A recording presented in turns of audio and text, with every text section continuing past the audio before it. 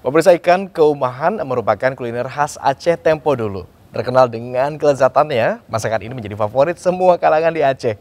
Bahkan menu ikan keumamah ini menjadi menu andalan sejak Perang Aceh karena tahan lama tanpa bahan pegawet.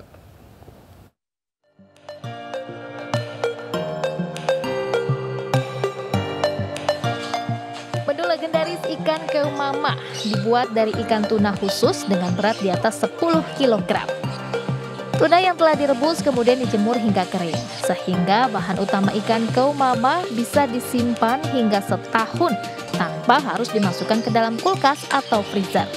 Tak hanya bahan baku yang tahan lama, ikan kau mama yang telah siap saji pun bisa tahan hingga berbulan-bulan karena tidak menggunakan bahan pengawet.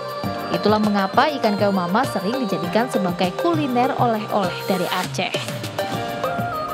Ya, ikan kau mama yang disajikan di salah satu kedai makan di Banda Aceh ini dimasak menggunakan bumbu khas Aceh yang diracik secara khusus. Cita rasa kelezatannya pun cocok di lidah penikmat kuliner khas kota Serambi Mekah.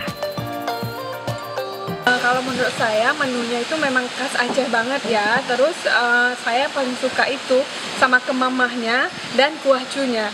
Uh, saya juga sering makan siang di sini.